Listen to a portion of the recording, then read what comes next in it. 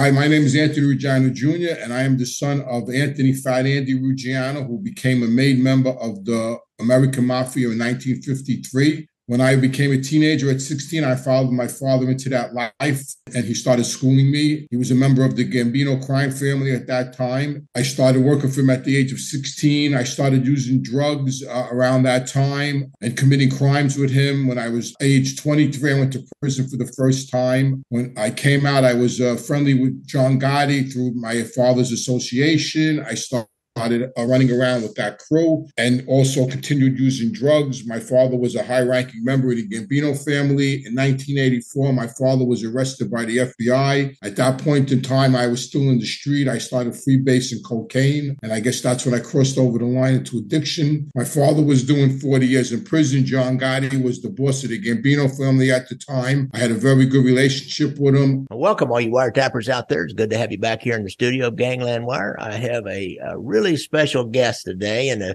and if you're out there on YouTube and, and you're a real mob fan and a YouTube mob fan, you know, there's a lot of guys that were formerly in the life that are out there on YouTube, uh, Sammy the Bull, Michael Franzese. But we have another guy who was part of the Gambino family, Anthony Ruggiano Jr. And I've got him right here in the studio with me. If you're on YouTube and if you're not, you're going to hear him in a few minutes. Thanks a lot, guys, for listening and welcome, Anthony. Oh well, thanks thanks for having me.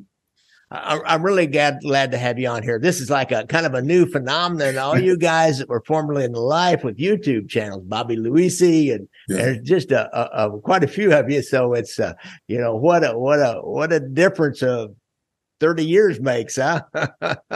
very true. Very true. I'm waiting for somebody in Kansas City to come in and start a YouTube channel or want, well, they, want to co-host with me. I don't see it coming though. uh, well, there was a big mob family in Kansas City at one time. I don't know what happened to them. There was. Well, you know, there's still our, one of our last surviving guys just died uh, yesterday. Actually, I started getting calls yesterday afternoon. Did you hear right? Willie Cammisano Jr. died and he got COVID yeah. really bad and then got wow. uh, had a stroke and and he was kind of the last of the, there was only one more old school guy from back in the 70s and 80s when they were at their peak left. So, you know, it, it's all changing. And, and, as you know, so let's talk about your life in mm. the mob. Now we've heard a little bit about it. You guys, you know, you, you did a little lead in with, with Anthony and, and kind of where he came from and, and how he grew up. And, and so, you know, you, your father's in prison, you're in your twenties and and you're part of the Gambino family, or is it Gotti family by then, or you're part of the Gotti crew, right? Yes. Um, yeah, I grew up in Ozone Park. My father and John Gotti both come out of East New York, Brooklyn. Um, they both wind up moving into Ozone Park, Howard Beach area. So I grew up in Howard Beach and Ozone Park. I was introduced to John Gotti at a young age of 13 through my father, because my father knew him from when he was a teenager. And uh, yeah, so I was part of that crew. Um, I wasn't directly with him. I was with Tony Lee and my father, and we had a social club a few blocks away from the Bergin Hunt and Fish Club. But that was the crew I ran around with. Hmm, that's that social club thing. That's kind of an interesting little phenomenon to me here in Kansas City, and and people outside of New York City. Man, there's a little bit of it in Chicago, but but boy, in New York, that social club thing. And so your father had his own social club, and he was part of Gotti's crew. And so you know what was it like that social club? What was that like? Well it's you know it's like people ask me that all the time. It's like you know guys on wall street go to their office on wall street and guys in the mob go to their office in the social club. I mean every crew when i was younger had a social club. In my neighborhood in ozone park i mean probably all five families had a club there and it was just a meeting place. It was like home base. It's somewhere where we all went during the day. We met. We would have lunch there. We'd socialized. People would come there to meet us, and we would plan out our day there. It was just a gathering place. Um, that we socialized in and fellowship and uh, and people would come there. Like my father, you know, always held court. And his John Gotti had his uh, social club, and every Saturday he ate lunch there, so people would know he was there every Saturday. And it was just a place where we met and and talked about things that needed to be talked about. Joe Pistone once said that guys sit around and plan out different scores all day long. And, and, so I'm sure you planned out scores. What do you remember a particular score that you set? How did, how did that go down? Planning out a score? Oh, yeah, sure. So we, we would plan out, you know, we had a big a policy ring and we would all start out in the club and we would plan our day, who was going to go to the street, who was going to answer the phones. I mean, you know, some and actually in some social clubs there was homicides were committed in them. I mean, you know, uh so um yeah, my I planned out like I would I would I had a at one point I had um, a credit card uh, fraud ring. I had a big credit card fraud ring, and we would meet at my father's social club, Cafe Liberty, and like I would send one crew out in a van to Pennsylvania, I would send another crew out to Long Island, and then at the end of the day, we'd meet all back there. We'd collect all the money we needed to collect. We'd cut it up. So it was like a business office. Mm-hmm. So how, how did that credit card thing work? Did you have a bunch of stolen cards or a bunch of uh, sto- uh faked accounts and send yeah? So back Smurfs out, so to speak, and they'd like go to stores and use them and and right, bring the right. stuff back, or right. So in the '90s, we had a guy in the post office that was selling us uh, credit cards, and we would pay him fifty dollars an envelope for a credit card. And he used to give me stacks of them at a time. And then we would, yeah, we would send guys out. We would buy electronics. We would buy air conditioners. We back, back then in the day, palmcorders, Nintendo's, jewelry. And then we had one guy that we would bring it all to, and we would sell it to him for 50. So if we paid $99 or $100 for an item, we'd sell it to him for 40 or $50. So, and he would buy all the items. We had another guy, uh, we had an Asian fella that we would buy cigarettes all day. We would buy 100, 200 cartons of cigarettes and through in CVS's and Walgreens throughout Long Island. And then we would bring them to this one fella and he would buy each carton for $10. So we, we had we had a pretty good. I made a lot, a lot of money with uh, with credit cards, and then we also had a vending business. We had gambling machines, we had slot machines, joker poker machines. Um, listen, the mob makes money any way they can. Yeah. But I have to say one thing: the way I made money back then, I, I couldn't do that today with all the technology and the cameras everywhere and, and all the optics they have. All this, you know, I, I can never earn money like that today. Yeah, you would have to hire a bunch of young guys that could get online and and do the scams online. exactly, exactly. And I don't know nothing about that. Yeah, so yeah, I just know enough about it that that's the way to do it today. You cannot go out in the stores. I don't know how anybody would do a, a, a hit or a murder today with all the cameras out there and, and it, DNA and all that. It's almost impossible impossible. It's almost impossible because I mean, there's cameras in doorbells, and even even with everything else, even with gambling, bookmaking. I don't know how. Like the mob today, everybody has apps. I mean, every state it's legalized in every state. I mean, so who's going to bet with a bookmaker, a street guy, a guy that's struggling for money? I mean, all the anybody that has money now is going to just download an app and bet yeah. with Caesars and MGM so, you know, it's just a different world, you know, and it's funny because everything I went to jail for now is legal. Yeah, I noticed.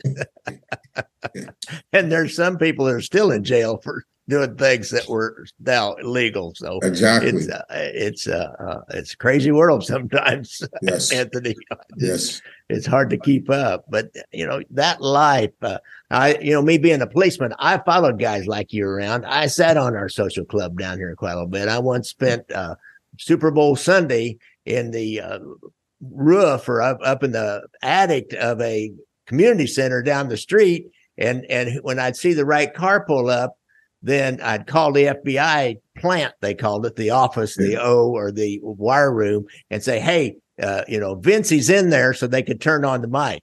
Right. And, and, so that's did you do you remember the did the police do you remember them? Were they you know did you do counter surveillance or you know how was your relationship with the police and the FBI and and probably New York City police? Maybe they didn't do so much as we did here in Kansas City. I don't know. What was that like? Oh no they were honest all the time. I was always being followed. My father was always being followed.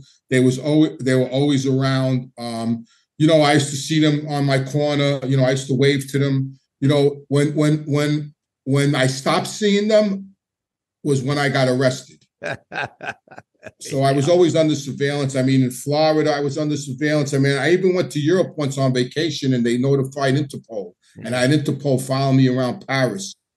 Um, so I was always under surveillance. Um, and anytime my doorbell rang five o'clock in the morning, I know who it was. And you know, I always left my house in handcuffs. So I was always under surveillance. It just was part of our life, you know, it was just part of life, you know. Um, but we knew they were always around, law enforcement was always around. But they they were they were respectful, you know. If I had to get a, a, a couple of times I got indicted, they'd call, they call us up. and you know, and I would surrender. They just wouldn't come and drag me out of my house. Um, so they were they we respected them. They did their job, and you know, they respected us. We did our job. So, um, but I was always under surveillance. In my later in the especially in the nineties, and then I mean, I, I was uh, I got arrested in 90 in 89 by the organized crime task force in New York State. I got it for a policy. I went to prison for that. And then I got rearrested again in 95 by again by the by the Queens organized crime task force. But I was very unlucky. In 1989, I, I could I'll tell you a quick little story about surveillance. So in 1989, we were had a number office in Jamaica, Queens, which was um, you know, was the hood. And we had a number, a number office in there. And on the corner of the block where our offices was a house where some Jamaican Rastafarians were selling weed out of, mm-hmm. and they were under surveillance. A guy that stood with John Gotti, for some reason, decided to come and see us at our office. And the, the, the, the surveillance for the marijuana saw this guy and said, Hey, what is this guy doing here? He hangs out with John Gotti. They recognized him. Yeah. They called up the organized crime task force and said, Listen, we just saw Freddie Hot walking into this building in Jamaica, Queens. What is this guy doing in this neighborhood? To make, make a long story short, the, the Queens DA organized crime task force put somebody on that building and found and and ID'd us, and I got arrested for policy, and I went to prison for that. So we were always, you know, we were so well known. It was just uh, that's what was. And they used to tease us when they arrested us. They used to tell us we love to follow guys like you. You go to the best restaurants, the best clubs. They love to follow us. yeah, really. what uh, did you have any particular techniques that you used that uh, to, to if you wanted to uh, to drop a tail off and get away to do something uh, that you didn't want any? yeah, yeah, we would park cars in, in we would park cars in underground garages, or we would get on the subway we would, you know, I, I, I would, I would, uh, I would get on the train, the A train on Liberty Avenue. I would take the A train, get off at another station, have somebody pick me up. Um, or I would go in buildings that had two entrances. You know, I would go in apartment buildings, like uh, in Brooklyn, there was an apartment building in Sheepshead Bay that had multiple, and it was like a little city. And you go in the building, and this had multiple exits and entrances. So we had ways when we needed to get away, we got away, or we hope we got away. yeah, you probably did. It's tough. It's tough. Yeah. I've been on the other end of that a lot. I just heard a story about a guy we used to follow a lot, Joe Ragusa, and he was working at a plumbing supply place, and and he asked a customer that came in, said, "Hey, would you give me a ride down to City Market?" And he said, Well, sure. So Joe gets in, he lays down the guy's back seat and he drives him down to City Market. And, you know, we were sitting yeah. on the outside. You know, we right. didn't, you know, we just saw know. this guy come yeah. and go. So yeah, now it's GPS. Every car now they got computers, GPS that can follow you with your phone. I mean, now forget it. Now, how do you get away today? I don't know. I don't know either. Yeah. I'll tell you what, if I was doing it today, I'd, I'd just get me one of those GPS locators and somebody I was interested in, just slap it up underneath your car. Yeah, that's it. That's it. Watch it from the office. yeah, you can watch it from the satellites now. Watch it from the satellite. Hell, you mm-hmm. could get a drone and follow you around. yeah. You know, I, I I even was followed by a helicopter we had a we had a number a big number runner in in in uh in Long Island, and he was so big and we made so much money with him that we personally handled him. Like we didn't let somebody that worked for us handle him. And my uh this guy Carl Amato, who who ran the number business for my father and myself, would go out there and meet him every Monday. And I used to tell my just my friend Carl, Carl, every Monday when we're driving out here, I see a helicopter. He goes, "What do you think? This is Goodfellas?" You know, he's teasing me because if you remember in the movie, yeah. Henry Hill was. He goes, "What are you kidding me? What are you? What are you, what are you back on that shit again?" Because I was clean at the time, yeah. and I'm telling you, I'm telling you, no. For some reason, every time we come out here, I notice there's a helicopter. Sure enough, after we got arrested and we got all the uh, all the you know they had to turn over everything to us sure enough, we're in our lawyer's office, and our lawyer picks up a paper out of the box, and he goes, "Holy shit, aerial surveillance!" I I said, "I told you they were following me with a helicopter." yeah. That's how crazy it was. Yeah, our guys figured out they they'd stop and they'd just look up. Yeah. They saw it was a light plane. It wasn't a helicopter. The bureau had a plane. They saw the same plane like make this big lazy circle. They knew. Mm and then yeah. you know what they do? There's an airport real close to downtown, and they drive into that airport and then back out the other side real quick. So Yeah, they right. knew the plane couldn't follow them in because of the flight pattern. So Yeah. and my father was always under surveillance. My father would go to like just sit in bars all day and not meet nobody and just sit there all day and drink and eat. And they would just have to hang around all day. yeah, They actually used to tell him once in a while, Andy, are you going to go eat dinner? Like they used to ask if he was going to go to a restaurant. really. Yeah.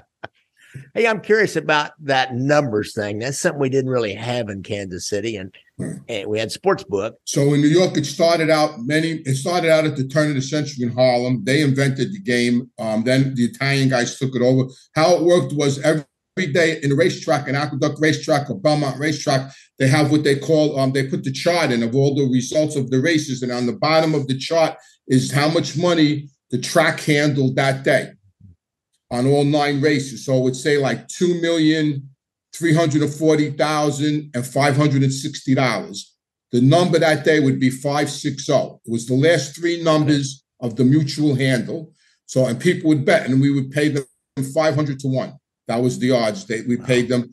And we would give the runners 25. So, you would, let's say you worked in a factory and you were our runner. You would, everybody in the factory would play the, the, the number with you, and we would give you 25%. So, if you brought me $100 worth of action, you would make $25 and then you would get a piece of the hit because we would pay the customer, we would pay the runner 550 to 1, but he would pay the customer 500 to 1. Okay.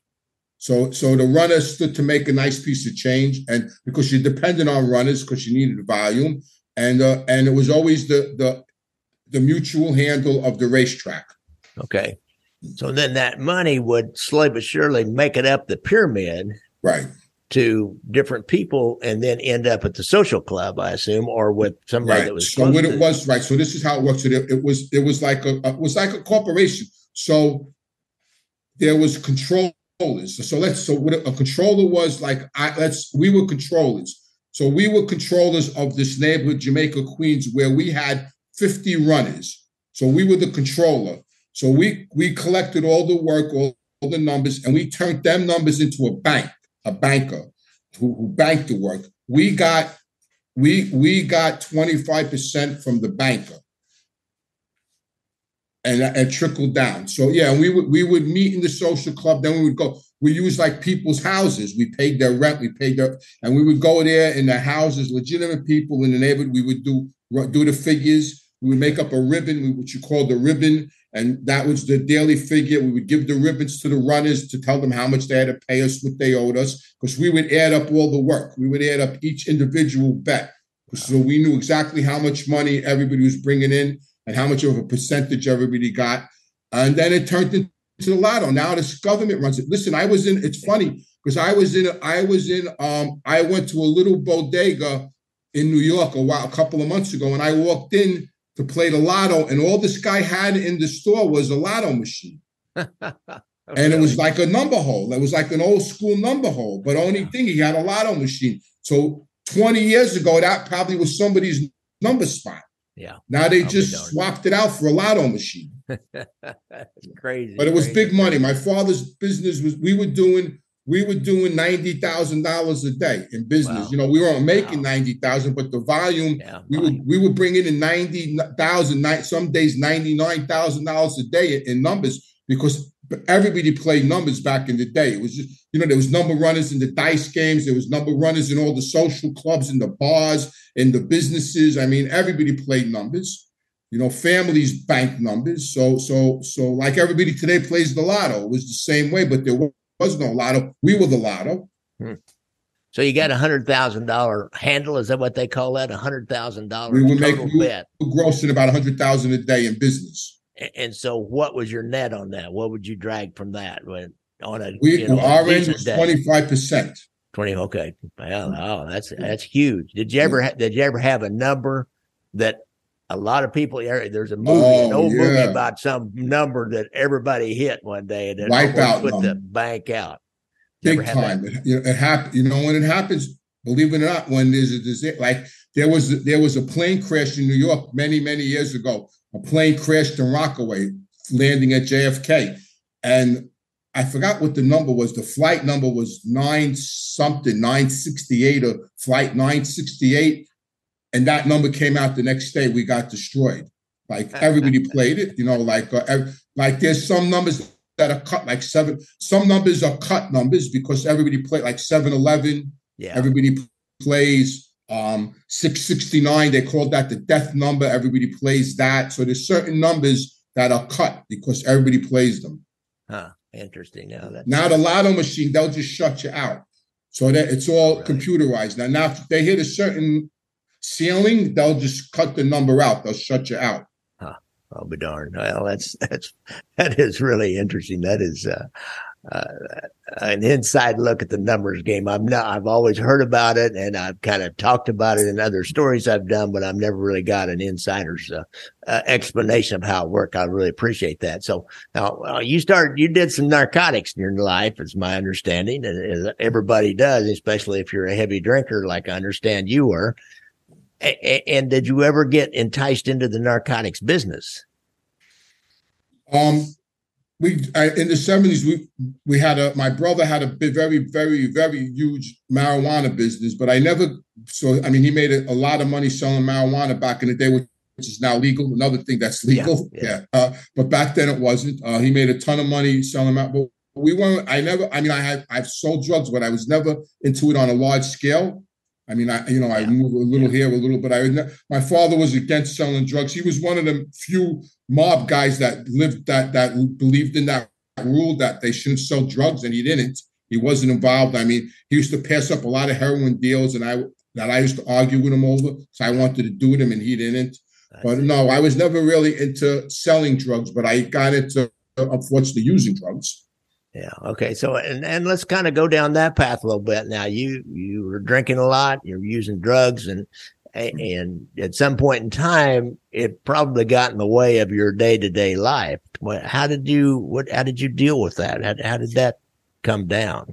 Yeah. So, well, you know, I mean, in the beginning, it started out as fun and games, like like it always did. Yeah. You know what I mean? It started out as, I mean, you know, I'm in this. It's in the '70s. I'm making big money. My father's a big shot, big gangster. So I got caught. I'm got carte blanche in Manhattan. You know, everybody's blowing coke and drinking. You know, and I grew up in bars. My father owned the bars my whole life, so I I felt very comfortable in a bar with a drink in my hand, and all, and so I, I would drink every day. But I never woke up looking for a drink. I wasn't. I never looked up craving alcohol.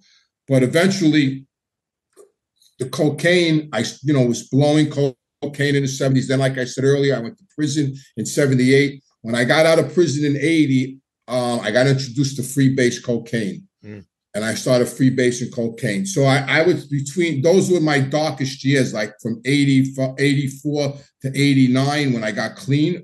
Um, then my father got arrested. When my father got arrested, I started getting out of control. Then I crossed over that imaginary line and like everything became about, you know, the next one, you know, how am I going to get more coke, smoke more coke? And I started doing a lot of crazy stuff, taking money off people. Uh, you know, my father was in prison. Um, but you know, nobody, um, you know, John Gotti still always looked out for me for some reason. I don't know why. He always did. Um, and my father, you know, felt really bad, you know, and then um, I don't know.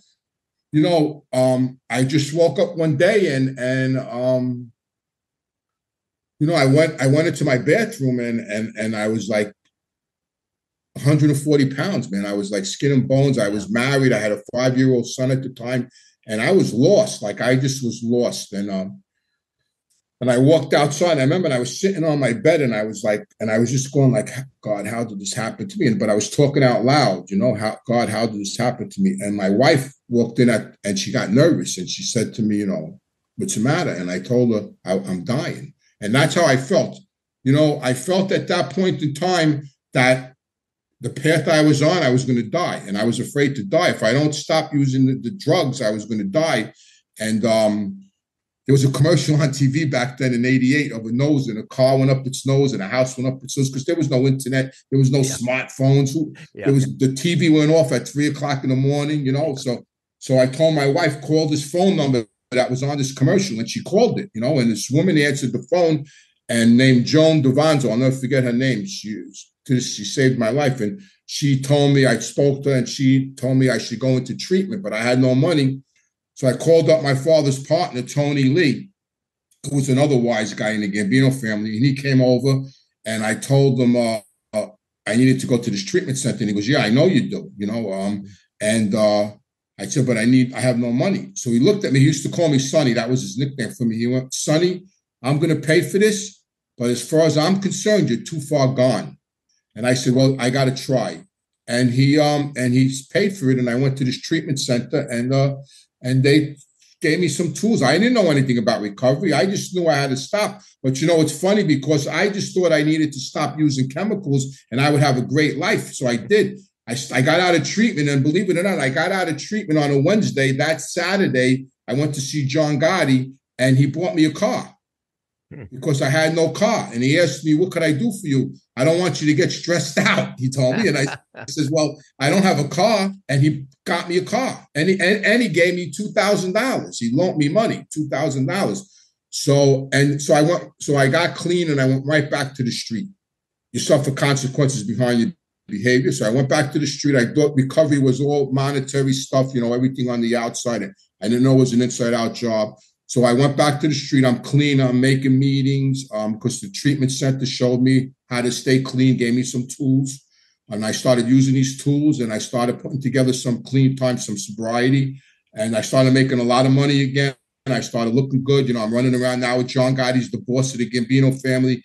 I have a great relationship with him. I'm running around. I'm making a lot of money. And I was clean and sober two years and I got arrested for numbers I went to prison. I stood clean in prison because um, I refused to use at that point. I, I, I just couldn't use anymore. I didn't want want the consequences. When I was in prison, I actually started a meeting in prison because I wanted to stay close to the fellowship I belonged to. You know yeah. what I mean? So I got out of prison in '92, and I went right back to the street again. John Gotti had gotten arrested when I was away with Sammy the Bull. They were gone. I got out, and um, you know, and I just went right back to what I knew how to do, you know, running around with the wise guys, doing errands for my father. My father was in prison. I was meeting guys in Philly. I was running all around. I was meeting with Joey Merlino, bringing messages from, from the Gambino family to Philadelphia. You know, everybody trusted me. Um, I, I, I knew the game. I knew that life. You know, I was raised by my father, and uh, life was great. I thought it was. And then I started hitting the bottom with that lifestyle, you know, like you could, you know, I started feeling uncomfortable again in my own skin, you know, and um, and then in 95, I got arrested again on a big bookmaking case, um, which now is legal too, bookmaking. Yeah. I got arrested again on a big bookmaking case with uh, guys in Brooklyn and Queens, and I took a plea. I got a two to four, and I was upstate in a in a penitentiary in New York, and I got indicted in Miami by the feds, by the mm-hmm. FBI, by the Justice Department, with a lot of with this guy Nicky Corozzo, who was like the street boss of the Gambino family, and a couple of other people. And um, the marshals took me to Florida, and I took a plea down there, and I got ten years.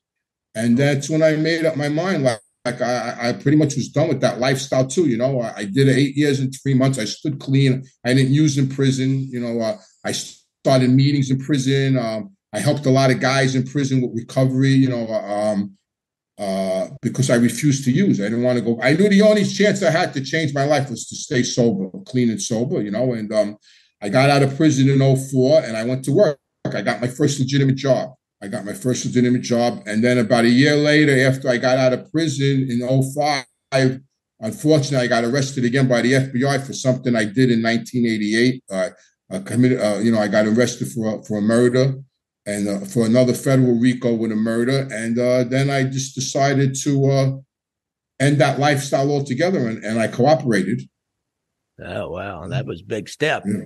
Judging how big you were raised and everything. Was your father still alive then? No, my father. no, if my father was still alive, I could have never cooperated. I would have never done that. No, my father passed away when I was in prison. That's another thing. My father passed away in 1999 while I was in prison. I stood. I didn't. I didn't pick up. You know, um, his partner died. John Gotti died. So when I got out of prison in 04, all the, the men that I looked up to that took care of me, that I loved, were gone. The mob was a different was a different world out there when I got out in 04. Nobody was looking out for nobody. Um, and you know, I just uh, it was like the drugs. I just didn't want to live that way anymore. You know, I hit a bottom with with that lifestyle. I mean, how much more time am I going to spend in prison? I mean, you know, like what did I get sober for to spend my life in prison? I did more time clean and sober than I did when I was getting high. You know, um, so I just knew that would be the best way, or the not the best way, but that would be the final straw of me getting out of that life. There's no going back after that. Because I was still on the fence. When I got out in 04, they wanted to make me. I was proposed. I was a proposed member. So I was on the verge of becoming a main member. So I was still on the fence. I didn't say no. So like you know, like it was like the devil and the angel, you know, like yeah. you know, so so that was just the final that finalized me getting out of that lifestyle. I guess you could say. I guess you knew if you took that other step of taking that oath, there would not would not be any turning back, and you were likely would spend most of the rest of your life in the penitentiary. Was that your thought process on that? Yeah, yeah, definitely. The thought process was that my father was my father was dead. Tony Lee was dead. Like I said, John was dead. I know if they were alive, I would have never cooperated. I would have never gave up my father. I mean, if I had to spend the rest of my life in prison, I, you know, I, I wouldn't have liked it, but I, I wouldn't have gave up my father. Yeah, that was my process. You know, like um, I just wanted to get away from it. Nobody, you know, it just wasn't the same anymore. I think it's probably so enticing. It's like the drug. It's this high and low and high and low that you keep chasing after another high. Is that would that be a good analogy? Oh yeah, great. It was great at, in the beginning. It was great. It's like it's all instant gratification.